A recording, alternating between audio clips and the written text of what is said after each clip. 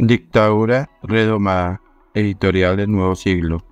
Régimen venezolano sigue atropellando a oposición. Más presión externa a favor de María Corina Machado y compañía. Una dictadura redomada. No hay otro calificativo para referirse al gobierno de Nicolás Maduro en Venezuela.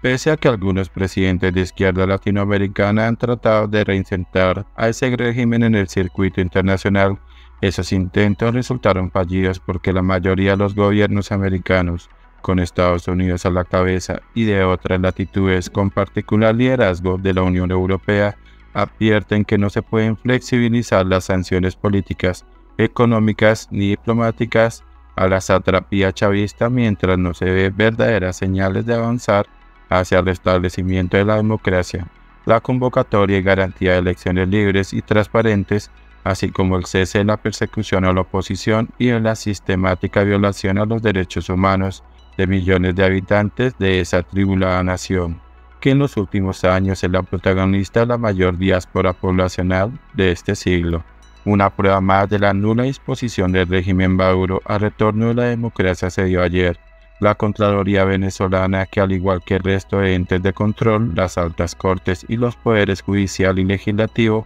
están cooptados por el chavismo. Advirtió que María Corina Machado, una de las precandidatas presidenciales opositoras con mayor favoritismo de cara a los comicios de 2024, está inhabilitada desde 2015 por un lapso de 15 años. La Contraloría sostiene que Machado habría incurrido en presuntas irregularidades administrativas cuando fue diputada entre el 2011 y el 2014 esta es una más de tantas otras decisiones penales, disciplinarias y fiscales injustificadas, amañadas y politizadas que la institucionalidad al servicio del régimen Maduro ha dictado contra distintos líderes de la oposición con el objeto de sacarlos del camino, cuando no los encarcela, obliga al exilio o acude a reconocimiento expediente de ilegal sus partidos o desconocer sus triunfos en las urnas. Paradójicamente, la decisión contra Machado no tomó por sorpresa a nadie, menos a la propia Machado, que no solo la calificó de farsa y abrupta, sino que no dudó en advertir que era una mano y obra más del régimen para atacar a sus contradictores y sacar de competencia a los precandidatos que están haciendo campaña a las elecciones primarias que organiza la oposición para el 22 de octubre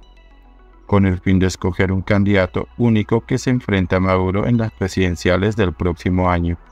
De hecho, de la baraja de precandidatos hacen partes otros dirigentes que han sido inhabilitados por la misma justicia parcializada y gobernista en años recientes. Enrique Capriles y y Supelano también están en campaña y sobre ambos pesan sanciones similares, incluso también sobre Juan Guaidó, quien llegó a ser considerado presidente legítimo de Venezuela por medio centenar de países y que está desde hace varios meses en Estados Unidos huyendo de la satrapía chavista. Así las cosas, es evidente que la intención de Maduro y compañía por sacar de carrera a los candidatos y precandidatos de la oposición no es nueva. Por el contrario, ya la Casa Blanca y otros gobiernos que respaldan la mesa de diálogo entre el chavismo y la oposición, hoy suspendida en México, han advertido que dentro de las garantías que el régimen debe dar para unas elecciones libres, transparentes y vigiladas por la comunidad internacional, el próximo año está precisamente que se dejaran sin piso esas inhabilitaciones de aspirantes antichavistas. De hecho, Machado, Capriles y Superlano, que reemplazó a Guaidó como carta de su partido, continúan en campaña confiados en que más temprano que tarde la presión externa obliga al régimen a aceptar esa condición. Visto todo lo anterior, queda claro que los gobiernos y dirigentes latinoamericanos que tratan de viabilizar el reingreso de Venezuela al circuito internacional han recibido un nuevo portazo en su intención. La medida sancionatoria Machado y las que existen contra otros líderes opositores no hacen más que confirmar que en la vecina nación pervive y se fortalece, pese al sufrimiento de su pueblo, la quiebra económica, la inseguridad rampante y la crisis institucional una dictadura redomada que, aunque trate de lavarse la cara con ayuda de algunos factores externos, no le es posible esconder su naturaleza autoritaria.